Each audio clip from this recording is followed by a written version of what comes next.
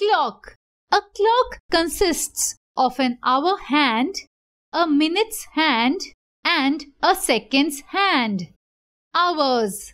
The short hand of the clock is called the hour hand as it measures hours. These are marked from 1 to 12 on a clock. Minutes. The long hand of the clock is called the minute hand as it measures the minutes. There are 60 marks in a clock that show minutes. Seconds. Some watches and clocks have a long and slender hand called the seconds hand. This takes every second. So now we know the big divisions 1 to 12 in a clock indicate the hours. The 60 parts on the clock show minute.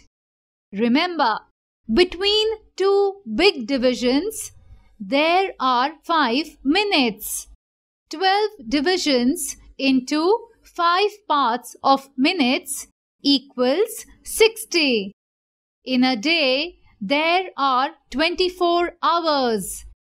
Each hour has 60 minutes and each minute has 60 seconds in it.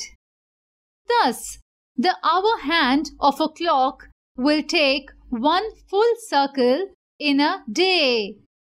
The minute hand will take one full circle in an hour and the second hand will take one full circle in a minute.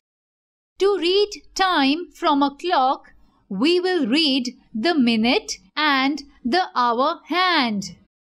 First, we will see the short hand to find the hour. In the picture above, the hour hand is pointing to number 1 and the minute hand is pointing to the number 15. Look at the outside of the clock. So, it is 115 or 115. You can also use the red hour marks to count the minutes by fives. 5, 10, 15, etc. Notice that the hour hand is not pointing exactly at 1 but has moved a little to the 2.